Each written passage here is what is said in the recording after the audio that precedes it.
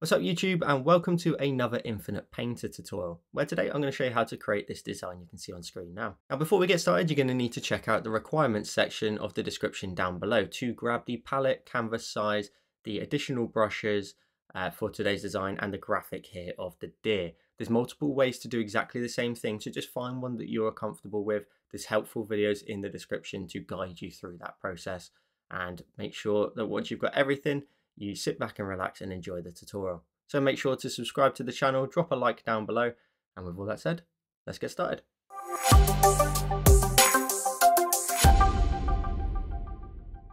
So to get started, you'll need to create your canvas, and I've just made mine 2000 by 2000, and you can see the rest of my settings there. And if we hit create, once we're into our canvas, we're gonna need to go ahead and grab the palette.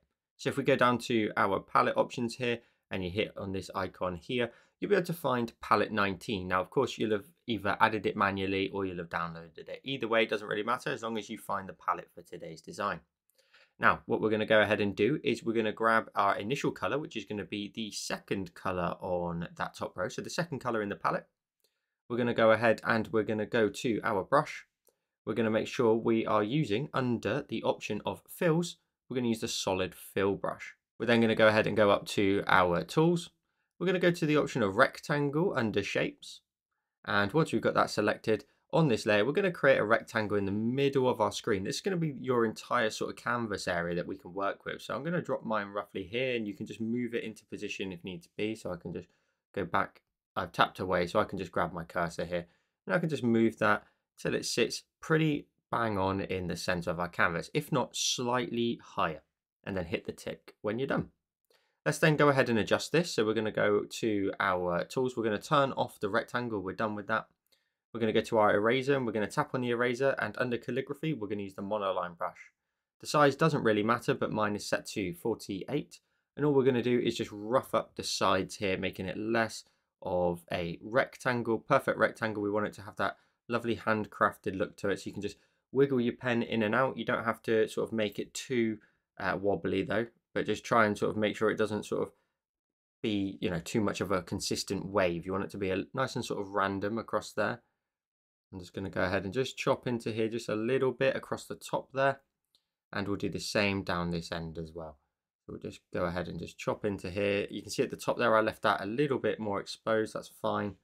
And at the bottom, we'll just go ahead and make a very slight sort of wavy wobbly line along here. That's it. Nothing too crazy. We want that, again, handcrafted look to it. We're going to go ahead then and create a new layer. We'll tap on that layer and we will clipping mask it. So we'll tap on it and use the clip. I'll bring my layers out there so you can see. I'll swipe that back. We're then going to go to our colours. We're going to go ahead and grab this colour here. It is the one, two, three, four, five, six, seventh. It is the seventh colour in the palette. We're then going to go ahead and go to our brush. We're going to use the option of fills and solid fill again. And if I go to my settings, you'll be able to see the smoothness setting there set to about 33. Feel free to change that if you wish. And we're going to get started with a bit of land that our trees and our deer is going to stand on. So I'm going to start over here. I'm just going to create like a bit of a wobbly line that just starts to sort of tear up on the side and then go all the way around under here. And that's pretty much bang on to be honest. You want that little bit of a slope and then this is where our trees are going to sit. We're going to create another new layer and we're going to drag it underneath the one we just worked on. So it just sits underneath there. Going to go to our colors and we're going to make our way backwards. So we're going to grab this color here just beside it. So just to the left. And then we're going to continue with the exact same brush. We're just going to create a hillside here that has like a little bit of a sort of drop off into the sort of valley over here. And then again, go round just to fill in your shape. Tap on your background shape, create another new layer. Go to your colors, switch it to the next one in the palette, which is the fifth one on the top row. And we're going to create a bit more of a vertical hillside now. So I've come in from the side there I'm currently drawing and I'm going to sort of create a little bit of a hilltop and then go all the way around again. And at any stage, you can always go back and adjust some of your shapes. Maybe I can just go ahead and just maybe let that one just run in behind there a little bit nicer. I'll tap on my base shape again. I'll create another new layer. Go to my colors. Let's grab the next one along, the one just beside it, the fourth color on the top row. We're going to create another hilltop on the left. It's going to be just a smidge higher than this one, just a tiny, tiny bit. So create like a little bit of a peak on it. And then you want it to sort of, again, run down into like a bit of a valley down here and go all the way around. So if you accidentally let go, like I did, just draw again and go all the way around to your starting point. So you end up with a little something like this. And again, we can always go back in and adjust it. The only thing I'm going to do is I'm going to tap on my eraser, still using the monoline brush, and I'm just going to adjust this shape a little bit more. I want it to have a bit more of like a swoop down in towards a little bit of a valley down here. We're going to add trees to this anyway, so the actual shape itself is going to change a little bit later. It's just sort of the, the overall silhouette. I just want to change a tiny, tiny bit. Then we're going to go again, tap on our base shape. We'll change back to our brush just before we forget. We'll create another new layer and we're going to go to our colors, grab the one just beside it, so the third color on that top row, and this is your final sort of layer here. And I'm going to start over here on the left hand side, draw across the screen, create a little bit of a wobble, let that run in behind there, and then maybe it goes back up again. And as long as you sort of fill in this area down here, you're good to go. And with that, we've got all the basic shapes we need then. We can tap on our base shape again, create another new layer, and we can add in our sun and clouds. I'm then going to go to my colors. I'm going to grab the first color in the palette. Just slightly off white. I'm then going to go up to my tools. I'm going to go to the option of circle. And we're going to draw in a circle here just for our sun or something like this. And then just position that in the center. We just want it to peek over the top there. And it's totally up to you. You can tap on your circle when you're done and you can go in with the eraser and maybe sort of wobble it up a little bit more. So for example, we can just sort of you know, just take away that perfectly round shape and we can let it fit in with the rest of the aesthetic a bit more. A couple of wobbles just along there. Keep the majority of its shape. Try not to distort it too much. And then on the same layer, we're going to go ahead and create some clouds. So we're going to go to our colors though, and we're going to drag it all the way into the top left. And you'll know you're there if you go to your settings, you want six Fs in a row. And then we're going to go ahead and create some clouds. Now they're going to be really simple. You're just going to create some lovely wobbles, lovely, lovely wobbles and then let that run out into a point and then come back on yourself and create some very simple shapes. Just a little something like this will create some very, very simple wobbles down here, a little bit of a smaller one. And then you can sort of go back on yourself as well, create this sort of extra little tier there. I only recommend you add maybe two, but if you do feel like you want to add in another one, that's totally up to you. I'm going to sort of come in again from just underneath this and just introduce a little bit more cloud. I think that looks really cool. Then let's go ahead now and start to adjust some of these layers. So we want this layer here. You can see it flash when I tap on it. I'll turn it on and off just to be sure for you. And we're going to need to change our color. So we're going to go to our colors. We're going to grab this color here, the third color on that top row. And the brush, you're going to need the tree set brush set that I've provided a link to in the description down below. So the tree set here, and we're going to use the option here of tree 2. Now the size, we want it very, very small in the distance. So currently it looks like it's very, very large. So we're sat to about a 10 at this point, and that looks pretty good to me. So I'm sat down to about 11 or 10 point, either one's fine. And on the same layer, just simply just drag your pen along here, create like a little bit of a forest in the distance. You don't always have to do the whole layer. You don't have to fill in the entirety of it. You know, I can fill in this area over here and let that sort of run in behind there a little bit more that you can see there, I'll just like leave a little bit of a gap. Where on the top of the hill, maybe it's just blank for whatever reason. And over here on the left, we can just leave that or maybe even introduce like a few in the corner here. Because in front of the white, it does look quite good. So a little bit here and then just let that run into, again, a flat area. Then we'll move up a layer to this one here on the left. We will go ahead and change our color to it. So this one here, the fourth color. And your brush wants to then get a little bit bigger again. So we'll go up to maybe, let's try a 22 point here. So 22 pixels and we'll create another little bit of forest. And again, you can pick and choose where you want it to go. You know, maybe as it makes its way down into the sort of valley over here is where sort of the forest then continues and this steep climb might be a cliff. As long as you can create a story, I always say, you can always sort of justify it and you can do whatever you like anyway, it's your design you want to do something that looks completely different to me, you're more than welcome to. I encourage you to always try and just be a little bit creative here and there. Try something with your own imagination if you can. So we've got lots of trees up there that looks looking awesome. Let's then move to the next layer in front. So we'll go to this one here. We'll go to the color for it, so the fifth color on that top row. We'll increase the brush size again, and we've gone up by 10 so far, but I'm going to jump all the way to the option of maybe around about sort of 43 that looks pretty good. I want something nice and large over here.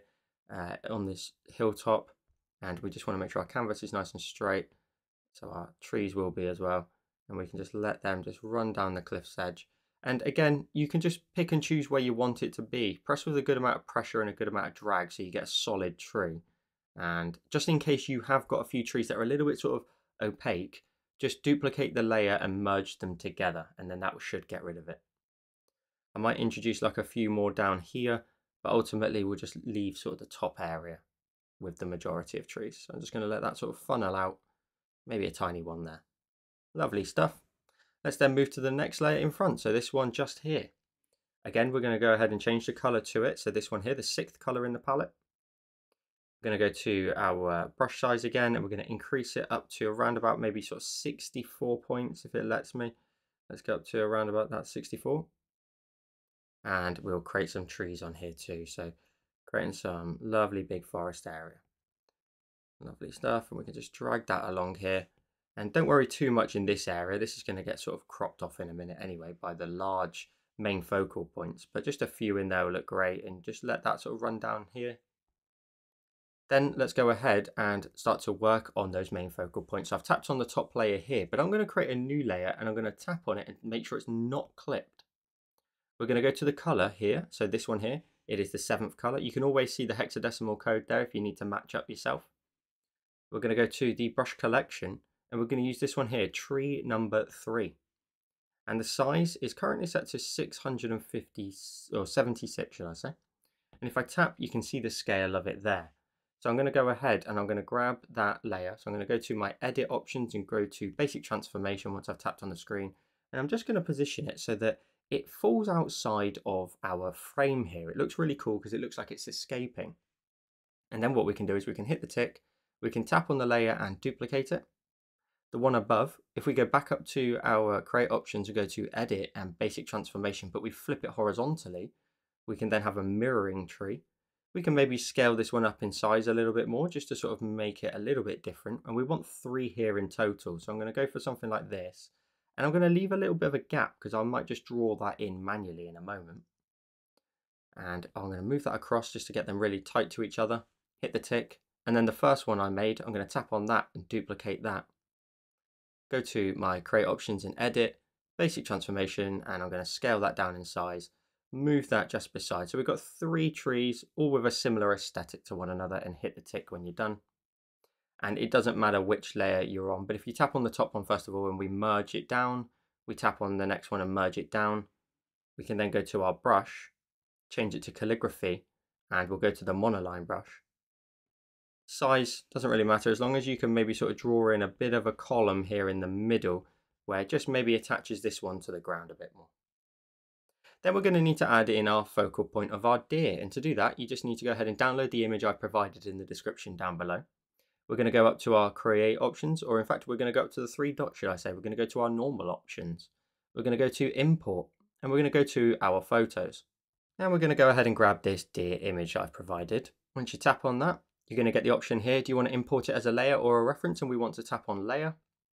And once you've dropped it, we're going to flip it horizontally using this icon here. We're going to scale it down in size and you can position it wherever you like. You can make it nice and big, you can make it somewhat smaller, it doesn't matter if the legs are hidden by it. As long as you get the sort of front legs, I think it looks really cool. And I think that looks pretty good for scale, you know. I think that makes it look like it's a little bit closer to us. So I'm going to hit the tick when I'm done. We've got our main focal point. And now we need to add the extra layers here that are going to sit outside of our frame. So if we again create another new layer, we're going to go ahead and go to our brush. Now I like to use the monoline brush and I know a lot of people also like to use the fills brush. Do whichever one you like, both will work fine but I prefer the monoline. And if I actually go to my settings for it, I'm going to bring the smoothness down. I want to have a few jitters in there. So I've got down to about sort of 45 there. And with my brush, it doesn't matter what the size is. We can keep it nice and small. What sort of size is that? That looks pretty good. So we're at about a sort of, uh, let's go up to about 20 or there enough. Our color wants to change to this color here, the next dark tone. So it's actually the eighth color in the palette, the third one on the bottom row and we're going to introduce our sort of larger big stone here. Now we're imagining that there is somewhat of a crop here. So I'm just going to make it a little bit wider than the image. I'm just going to sort of draw down, make a sort of a, straight line that just comes down to here. And then from this point, I'm going to go ahead and just create like a rock that comes in, goes up to around about here. And then as we make our way all the way up towards the top, we'll link them together. If you use the fill, it will already be filled. But if we use the monoline like I have, just go to your create options, you go to fill and tap in there. You may get this very small pixelated white line. All you need to do is increase the amount of strength of the fill. So if I tap and drag to the right, it just disappears eventually. So you want to just find where it just about disappears. There's the same method, same ways of doing the same thing. There's multiple ways, should I say, of doing the same thing. Then we're going to go ahead and create another new layer. We're going to go to our colors, going to grab the next dark tone here. And this is going to be our final set of sort of details down here. So we're going to create uh, another small little rock down here, just again outside of the frame, just a little kind of rock. I'm not going to fill it until I've finished this space. So there's one. I'll do another one down here, another sort of little rock on the ground. Link that up. And then I'm going to reduce the brush size down to maybe something around about five. I'm going to get in here now and create some very, very small little rocks. Now, as always, just make sure at any point, just throughout your design, just go up to your options and hit save. We know what Infinite Painter can be like, so just make sure you do that, just in case you get a little crash here and there. So I'm just trying to create a small little rock there. I'll create a lovely little small one in here too. Little pebbles on the ground almost. And we'll create another little rock over here too. And another one just in front of it. Maybe a bit more of an angular one.